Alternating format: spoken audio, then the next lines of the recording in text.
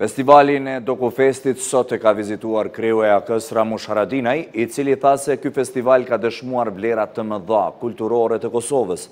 Dokufest me angazhim të pandalshëm po mbledh rreth vetes përpos turistëve të shumtë edhe njerëz të njohur të botës së artit, duke renditur kështu Kosovën në hartën e ngjarjeve të mëdha botërore, shkroi mes të tjerash Haradinaj në Facebook.